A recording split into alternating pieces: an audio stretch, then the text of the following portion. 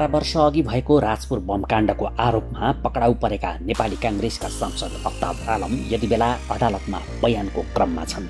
उनले उक्त बमकाण्ड नभएको आफूलाई थाहा नभएको आदि अर्थात् इन्कारी बयान दिइरहेका छन्। कार्तिक बिस गते दोस्रो पटक पनि उनले इन्कारी बयान दिनु अघि नै घटनाका प्रत्यक्षदर्शी तथा सुरक्षासँग सम्बन्धित तत्कालीन अधिकारीहरूले बमकाण्ड पुष्टि गरिसकेका छन्। जिल्ला अदालत रौतहटको चार नम्बर इजलासमा बयान दिइरहेका अफ्ताब आलम जस्तै उनका वकिलहरू समेत सफेद झुटको सहारा लिएर बहस गरिरहेका छन्।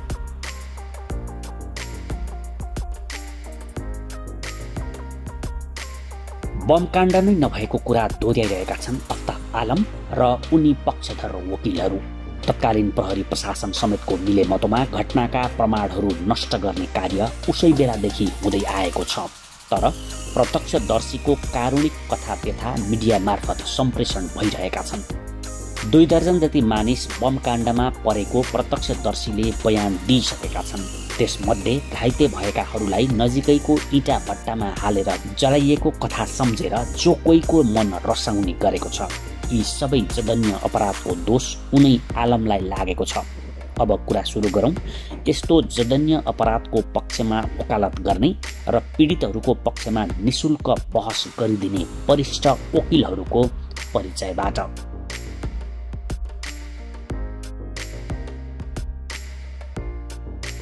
यति बेला धेरै भिआइपी वकिलहरू रौतहट जिल्लाको गौरमा पुगेका छन्।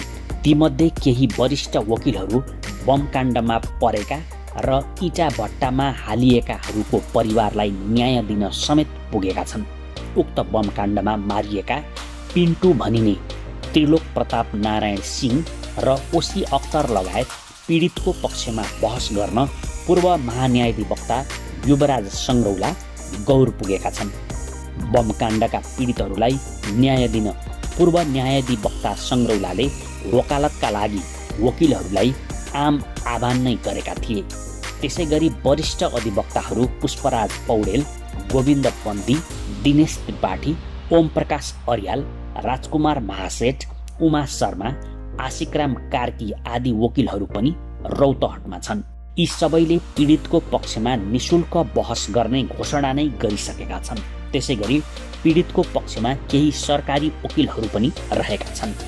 तर घटनाको पक्षमा अपराधको पक्षमा वा अफ्ताब आलमको पक्षमा वकालत गर्न काठमाडौँबाट झनै धेरै र झनै नाम कहलिएका वकिलहरू रौतहटको गौर पुगेका छन्। यसरी गौर पुग्नेमा वरिष्ठ अधिवक्ता तथा नेपाल बार एसोसिएसनका पूर्व अध्यक्ष शेरबहादुर केसी प्रमुख रहेका छन्। उनी नेपाली काङ्ग्रेस निकट वरिष्ठ वकिल हुन्। त्यसै गरी नेपाल डेमोक्रेटिक लयर एसोसिएसनका अध्यक्ष योगेन्द्र अधिकारी पनि अफ्ताबको पक्षधर वकिल हुन्। बारका पूर्व महासचिव तथा अध्यक्षका प्रत्याशी सुनिल पोखरेलले पनि अफ्ताबको पक्षमा वकालत गरिरहेका छन्।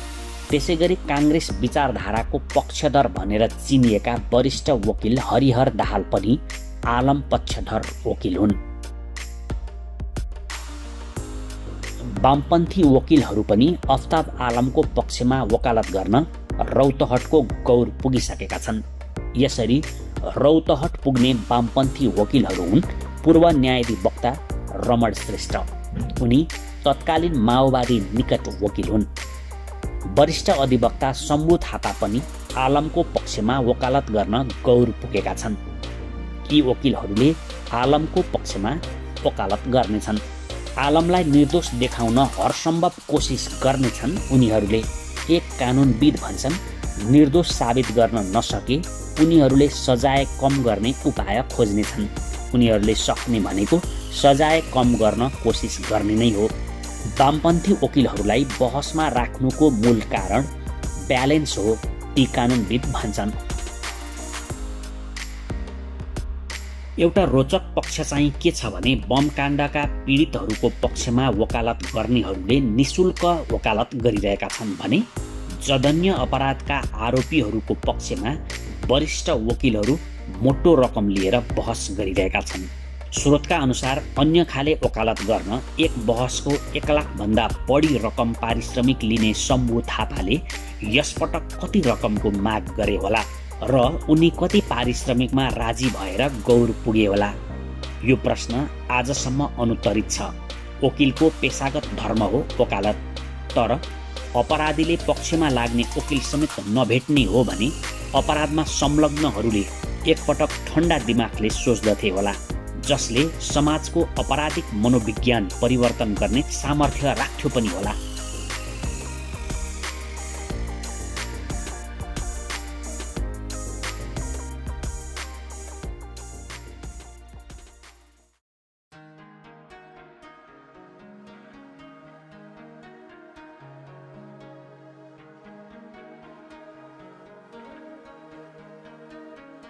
निवर्तमान सभामुख कृष्णबहादुर महरा पूर्वपक्षका लागि दिल्ली बजार कारागारमा रहेका छन्।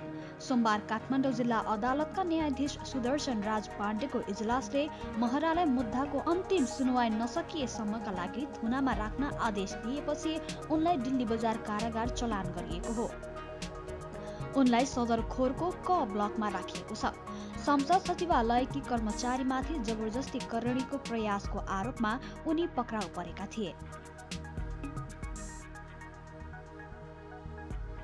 गत असोज उन्नाइस गते पक्राउ परेका महरा विरुद्ध मुद्दा दायर भएको थियो। यस मुद्दाको टुङ्गो नलागेसम्म महरा जेलमा रहनेछन्। उनलाई दिल्ली बजार कारागार लगिएको छ। पक्राउ गरेको दुई दिनसम्म महानगरीय प्रहरी विरुद्ध सिंह दरबारको हिरासतमा बसेका महरा त्यसपछि भने बिरामी भएको भन्दै नर्भिक अस्पतालमा बस्दै आएका थिए। महराले असोज तेह्र गते सभामुखबाट राजीनामा दिएका थिए।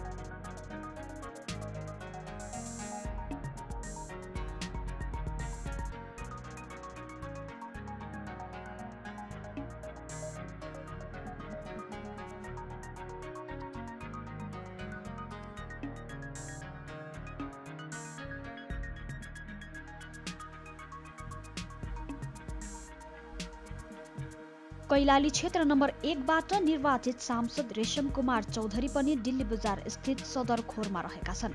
टिकापुर हत्याकाण्डमा मुछिएका उनी पूर्वपक्षका लागि जेल चलान भएका हुन्।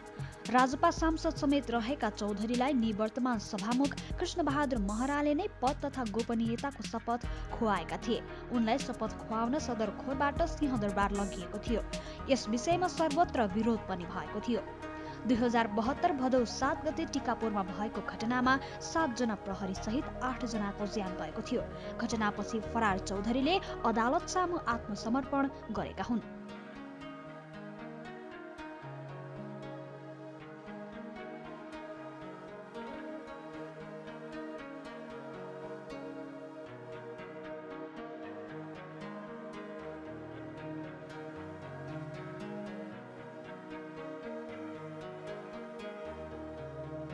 नेपाल प्रहरीका पूर्व आइजिपी रमेश चन्द ठकुरी पनि दिल्ली बजार कारागारमै छन्।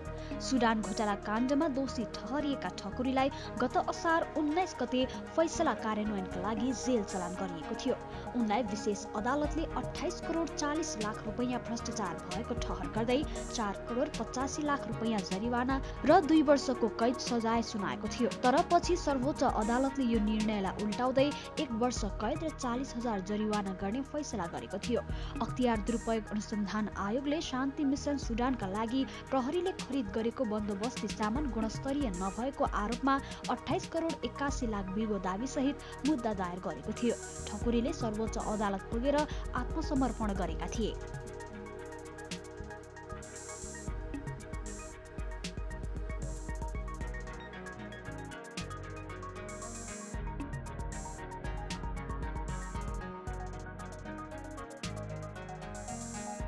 बजार कारागारमा रहेका अर्का भिआइपी हुन् सशस्त्र प्रहरी नायब महानिरीक्षक डिआइजी रञ्जन कोइराला। उनी पत्नी गीताको हत्या अभियोगमा जेल चलान भएका हुन्। उनलाई विशेष अदालतले जन्मकैदको फैसला गरेको थियो। कोइरालाले श्रीमती गीतालाई दुई हजार अडसठी पुस सत्ताइस गते काठमाडौँको पासीकोटमा हत्या गरी मकवानपुरको टिस्टुङमा लगेर शव जलाएका थिए। मध्यरातमा शव जलाइरहेको देखेपछि स्थानीयले प्रहरीलाई खबर गरेका थिए। शब जलाएर फर्कदै गर्दा कोइराला नागढुङ्गाबाट पक्राउ परेका थिए।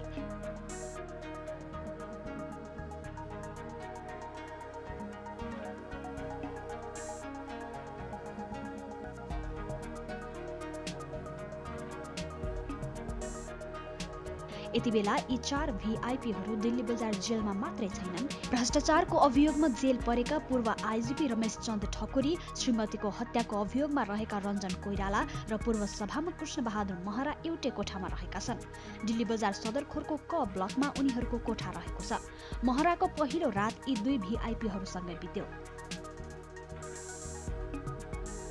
यसका साथै सेन्ट्रल जेल सुन्धारा नखु कारागार लगायत विभिन्न जेलहरूमा पनि भिआइपीहरू रहेका छन्। तत्कालीन एमालेका पूर्व सांसद Ramchandra Pyasi Kuswa army colonel Keshavraj Karki general Madan Jang Shah लगायत जेलमा छन्।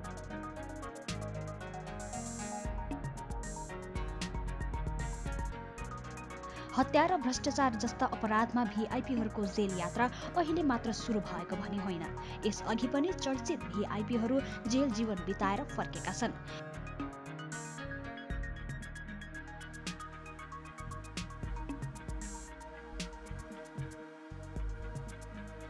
यसरी जेल जीवन बिताएर फर्केकाहरूमा सद्भावना पार्टीका नेता एवं पूर्व आपूर्ति मन्त्री श्याम सुन्दर गुप्ता पूर्व सूचना तथा सञ्चार मन्त्री जयप्रकाश गुप्ता काङ्ग्रेस नेता तथा पूर्व मन्त्री खुम बहादुर खड्का चिरञ्जीवी वाग्ले गोविन्द राज जोशी पूर्व सांसद बालकृष्ण ढुङ्गेल पूर्व आइजिपीहरू डिबी लामा ओम विक्रम राणा र हेमबहादुर गुरुङ पूर्व एआइजी दीपक सिंह थाङदेन श्याम सिंह थापा र पूर्व डिआइजी दीपक श्रेष्ठ लगायत रहेका छन्।